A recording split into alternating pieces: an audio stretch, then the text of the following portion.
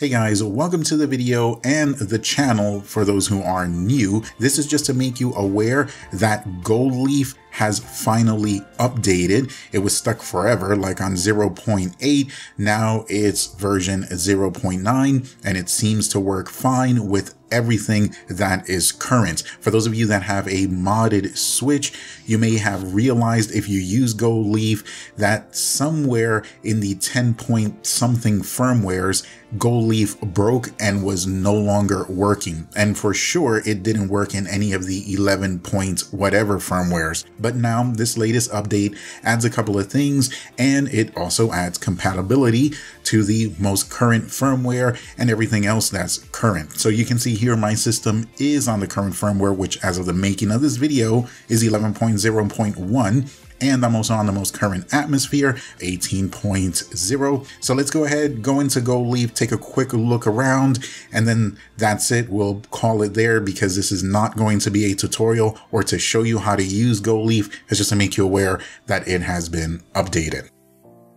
So here we are at Gold Leaf 0.9 and as you can see it looks pretty much the same as 0.8. A couple of changes. One is to the background color but we're going to talk more about that here in a bit. And then here on the main menu, I believe there was a tab that had amiibo management where you can select that. And now that's gone. There's just the amiibo dump, but everything else is pretty much the same. I haven't used it in a while, so I don't know exactly uh, what's changed here on the various menus. Among other things that Gold Leaf can do, it is a backup game installer and it can install backed up games that you have in different formats to your Switch, either to the internal memory or the SD card. You can also install them straight from a PC. So if you have the backed up game in a PC, you don't have to put it on your SD card first. You can install it straight to your Switch from the PC, either to your SD card or to the internal memory. Now that's something that you were able to do before. That's not new,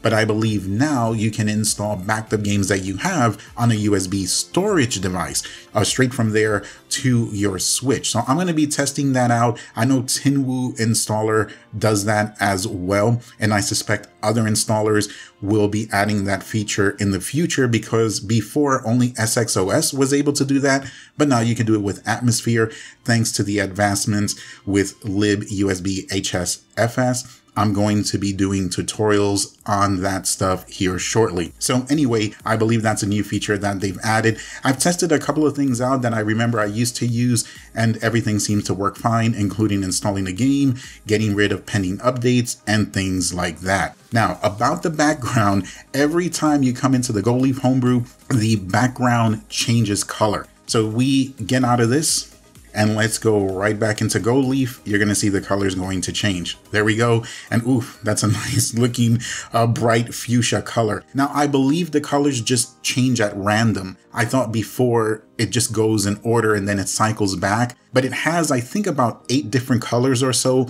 that it cycles through. I don't know if there's a way you can change that to just keep one color permanent. I went to the gold leaf settings and there's nothing like that there. If i figure it out I'll let you guys know in like a quick video. All right, so now if we head on over to the Gold Leaf GitHub, for those who are new and have never used this, I strongly recommend that you read over the README file that's here on the main GitHub page. Maybe some of you who have used it in the past, but you're not all too familiar with it and you want some more information about some of the features and options, this is a great place to look. When you're ready to snag that update, head on over to the releases. You can see that this latest 0.9.0 changelog is here and it is quite extensive.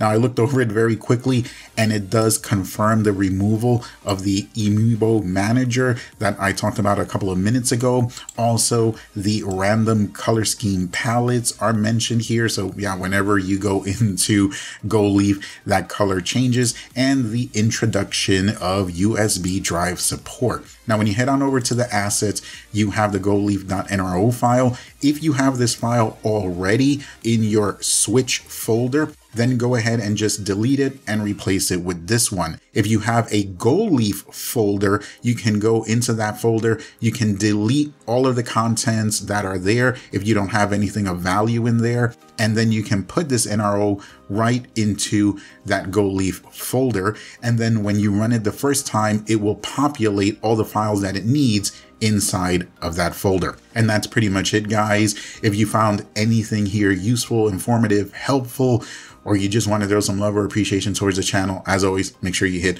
that like button and subscribe if you haven't already. Hit the notification bell so you get notified when I put up videos and when I put up YouTube community posts. Much love going out to everyone out there. Be careful, be safe, but make sure you have fun, and I will see you on the next one.